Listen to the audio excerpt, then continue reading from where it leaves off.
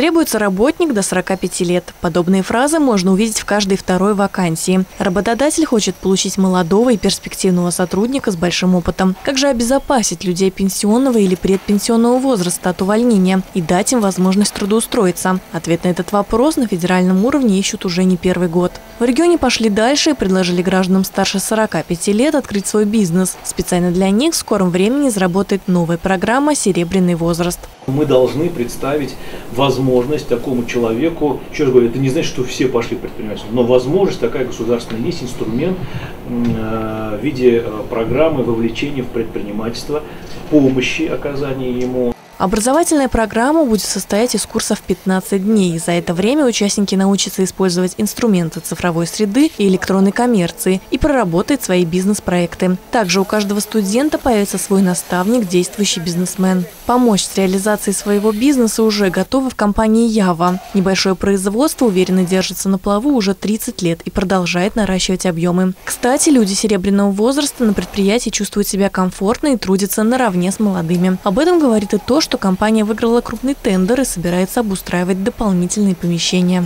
Выгодно нам такое предприятие? Конечно, выгодно. Объем увеличится, налоги увеличатся, рабочие места увеличатся, э, благосостояние людей в конце концов увеличится. Можем мы взять на себя и прогрессифицировать э, там, несколько там, десятков метров э, до другого, до другого помещения расхода. Я думаю, что уж точно, так сказать, никто в обморок не упадет. Предполагаемое количество участников пилотного проекта – 30 человек. Кстати, программа в новинку не только для региона, но и для страны в целом. И как показывает практика других стран, по окончании обучения предпринимательскую деятельность начинают до 15% участников.